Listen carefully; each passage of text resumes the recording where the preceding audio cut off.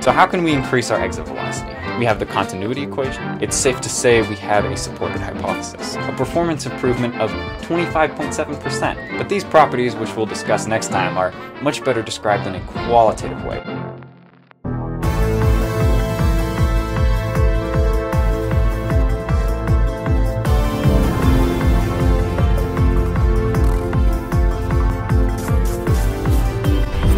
Alright, so now we're out of that sticky situation. Speaking of sticky, onto the last key concept, the adhesive-cohesive balance. For those who are unaware, cohesion is a property of identical molecules that stick together very well, like with water or mercury.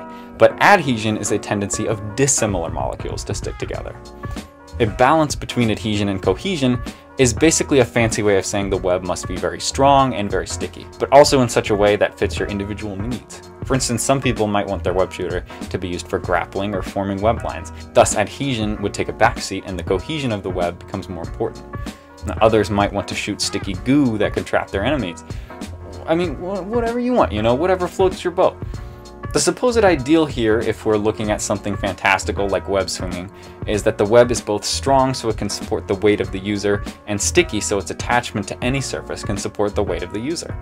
However, even if this web line existed, it would adhere to the user's hand when they grab it as well, so they shouldn't plan on letting go of it unless they want to lose some skin. Now, of course, this could be solved by some sort of special glove that doesn't stick to the web line, but I mean, come on, that's a whole other issue. Luckily, web shooters can be used in more ways than just creating web lines to swing on, and that's where the adhesive-cohesive balance comes in. Me personally, I would like to create webs that can make movement difficult for a target as a sort of non-lethal self-defense weapon. I mean, think of the applications. But, but, of course swinging would be pretty great too. Generally, we can set the adhesiveness of the web line by changing the ingredients. Let's look at the basic web formula that I outlined in one of my videos, consisting of four ingredients. Isopropanol, polymethyl methacrylate, tetrafluoroethane, and polysorbate 80. For now, I'm going to abstract these ingredients as solvent, polymer, propellant, and surfactant, as they each have a very clear role to play. Now, I wanted to show that this formula could create a web line that, when shot, connects the web shooter nozzle to the target. It took a lot of trial and error with the ingredients to achieve this, but the first formula I found that worked was 38% solvent, 6% polymer, 37% propellant, and 19% surfactant. Now while this did create a web line, it was clear that the line was not very cohesive. It easily broke after sufficient movement. So next, my desire was to increase the cohesion, which likely would sacrifice some adhesion, but hopefully not so much that the web no longer stuck to the wall. I modified my formula to increase the surfactant and decrease the solvent. I didn't want to alter any of the other ingredients as increasing the solid polymer would likely make the fluid too thick, and decreasing the liquid propellant would likely do the same. So my next fluid recipe was 28.5% solvent, 6% polymer, 37% propellant, and 28.5% surfactant. I tested this web formula in this video, and it was clear the web lines were slightly stronger, having the same amount of solvent and surfactant seemed to balance adhesion and cohesion. And why is this? Well, a solvent is what makes the web fluid a fluid for the most part. While the propellant also has some absolutely necessary dissolving properties, it must act together with the solvent in order to fully dissolve the polymer. Polymers are difficult to dissolve, so finding a solvent for a particular polymer can be tricky. In this case, it just so happens that polymethyl methacrylate will dissolve nicely in isopropanol, and that solution dissolves nicely in tetrafluoroethane, even when the surfactant is added.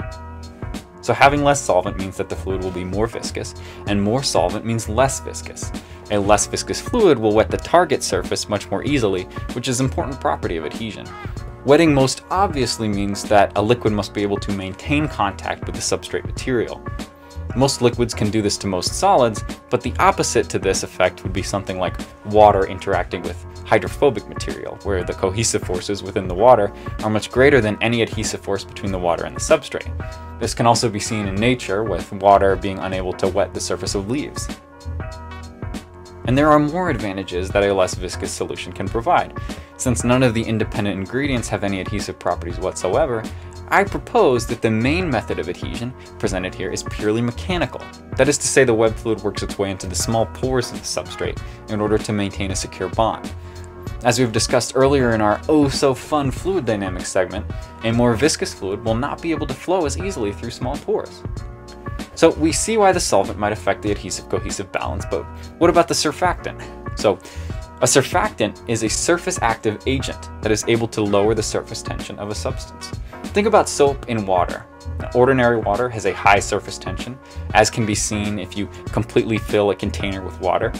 If you add soap, which contains surfactants, the surface tension is lowered, and we see the bulge of the water over the top can't reach the same height that it did before. Now, surface tension is the tendency of a liquid surface to shrink to the smallest surface area possible. It's why water beads become circular or spherical in zero gravity. If you try to blow bubbles with pure water, you'll be sorely disappointed. The geometry of a bubble means it contains very little volume but has a lot of surface area. The surface tension will collapse the bubble into a solid sphere of the same volume, which is going to be very small. On the surface of water, any air bubble which rises to the top will be unstable. The walls are going to rejoin the water to maintain a flat surface, and the air will go back into the atmosphere. However, if you add soap, the surfactants will decrease the surface tension, and bubbles will become possible, with their large surface areas and small volumes. Now adding our surfactant to web fluid means the same thing, that bubbles can form. Now most likely these bubbles mainly contain the expanded propellant gas. This allows our web fluid to expand to greater apparent volumes than it would otherwise appear, one way to potentially store a lot of web in a small container. These bubbles, however, increase the surface area of the web fluid, meaning the solvent can evaporate more quickly, leading to more solid, less adhesive, more cohesive webs. You can think analogously about how long it takes for a large, shallow puddle to evaporate versus a glass of water of the same volume. The puddle will be gone in no time, as the surface area, the area that is exposed to the environment which causes evaporation, and the area at which the vapor molecules must exit, is much larger. So the addition of expansion due to surfactants may cause the solvent to evaporate more quickly and the web to become less adhesive and more cohesive. The addition of excess solvent may cause the web fluid to stay liquid for longer and be able to seep into the pores of the target, becoming more adhesive and less cohesive. If we look at the history of my web fluid tests, we can see a large range of adhesive cohesive balances, especially when I first started to observe the properties of this sort of mixture. For instance, in this test from my web fluid tutorial in 2017, I added a really small amount of surfactant, and when the web fluid was shot, it maintained its liquid state for a very long time, was extremely sticky, and was able to be shot rather quickly. In these tests, also from 2017, I added a really small amount of solvent with a higher amount of surfactant. Now this web fluid came out with larger expanded diameters, almost instantly solid, not sticky at all, and only oozed out slowly from the nozzle. In the end, it goes back to the two main uses of web shooters. If you want to catch objects in a web, you may want a more adhesive web fluid.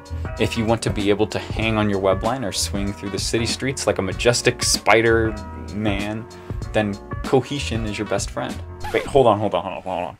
What are we doing here? Web swinging? Are we serious? Okay, now this is the not so fun downer ending of the video, but I'm gonna try turning it around, so just bear with me. So there's some major problems with the concept of web swinging, and we're gonna discuss them here. I hear a lot of people say that you'll tear your arm off if you were able to swing like Spider-Man, which, okay, maybe you will, but that's the problem you see with this? Really? I mean, first of all, storage.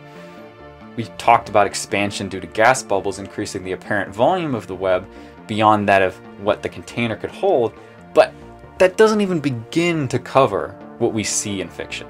From the Amazing Spider-Man movies, can I first say that I love these movies? We hear an Oscorp promotional video state, Engineered from genetically enhanced spiders, Oscorp's biocable tensile strength is unparalleled. We're just beginning to understand all the potential industrial applications. A single pellet can safely store several hundred meters of the lightweight cable. The pellet they're talking about is that little cartridge that Peter pushes into his tiny watch web shooters.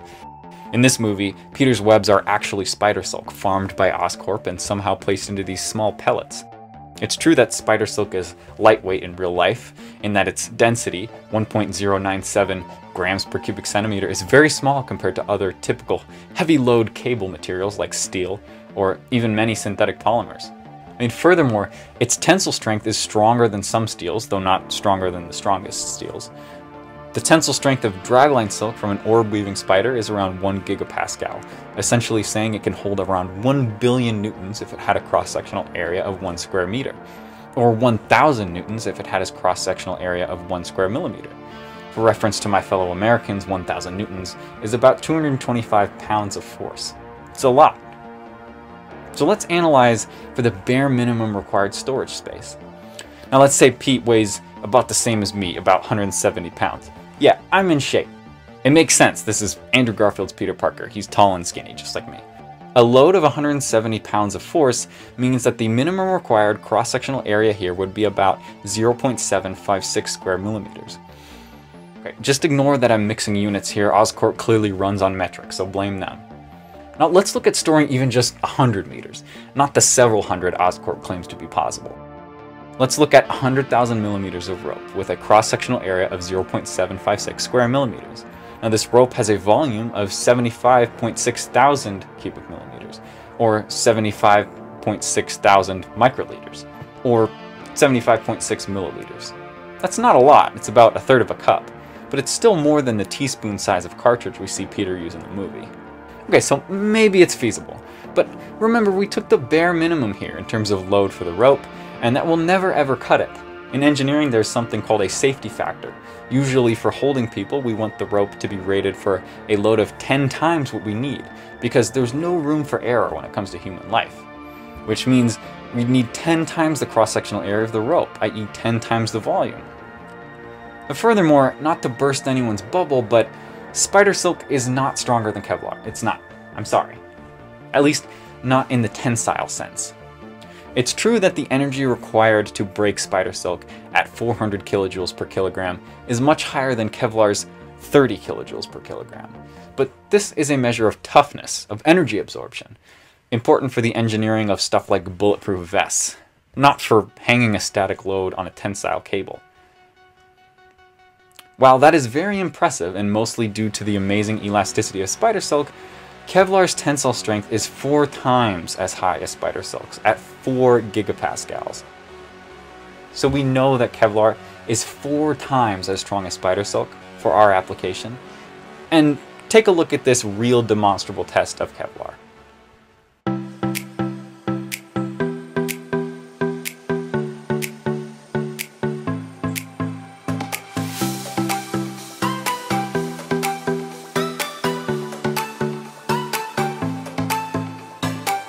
Important to note here that I weigh about 170 pounds, and this rope is rated for 500 pounds. So yeah.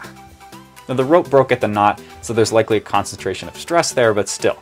If you can't tie a rope around something without it breaking, I'd say that means it can't actually support the load. Now the diameter of this Kevlar line is 1.4 millimeters, meaning the cross-sectional area is about 1.53 square millimeters, so it stands to reason that the smaller area of 0.756 square millimeters for the weaker spider silk wouldn't come close. Now this Kevlar line rated for 2,000 pounds and having a diameter of 3.1 millimeters, so a cross-sectional area of about 7.55 square millimeters, can hold my weight quite securely. Now this safety factor is in theory 2000 divided by 170 or about 11.8. To get this same safety factor for spider silk, you need to multiply the cross-sectional area of the Kevlar line by 4 or multiply the diameter by 2 to get 6.2 millimeters.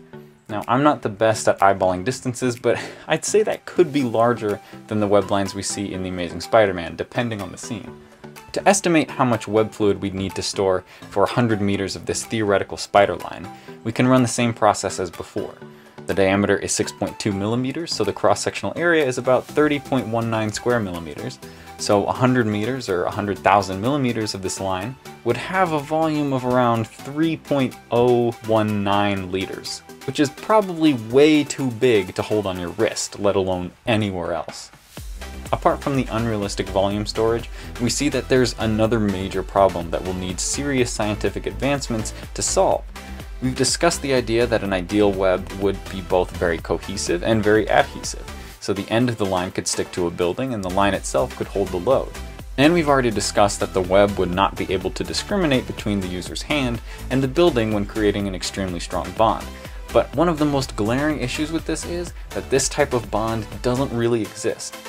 Alan Pan from the channel Sufficiently Advanced did a great job demonstrating that even some of the strongest adhesives available cyanoacrylates are not strong enough to hold a person's weight when attached at the end of a rope. This led him to go straight to the grappling hook route, which I'd say is a wise move.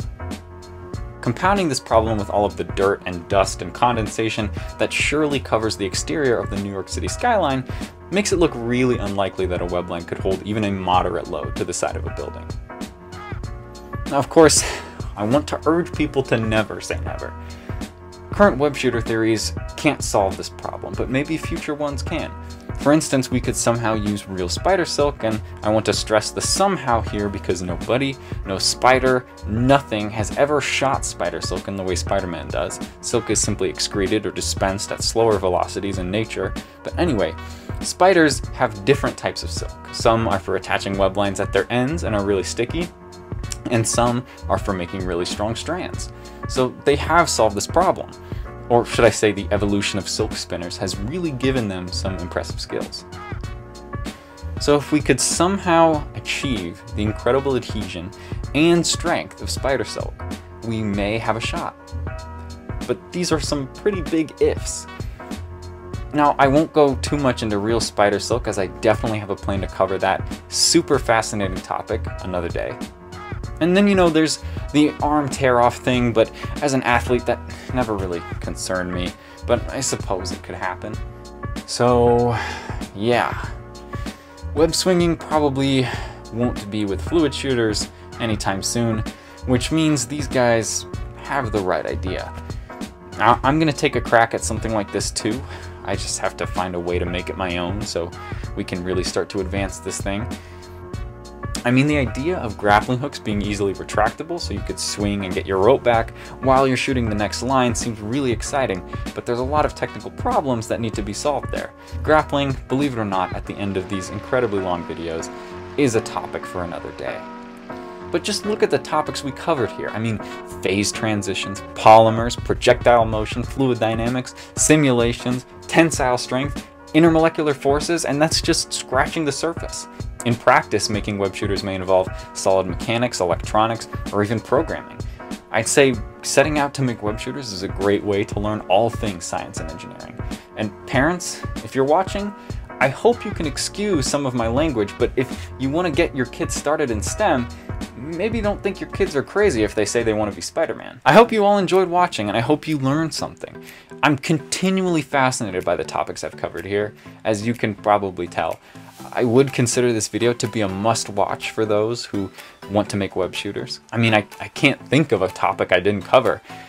If you have any gripes with any of my science or my claims in this video, please, please, please let me know in the comments below. I'm usually pretty good about responding. And in my attempts toward good science, I will not shake it off and pretend I was right all along. I will highlight any mistakes in the next video. And as always, please ask questions, especially to clarify any of the material I've covered.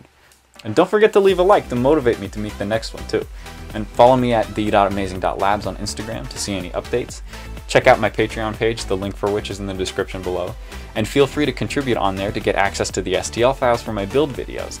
Also, you can buy my merch on my Spreadshirt shop, the link for which is in the description below.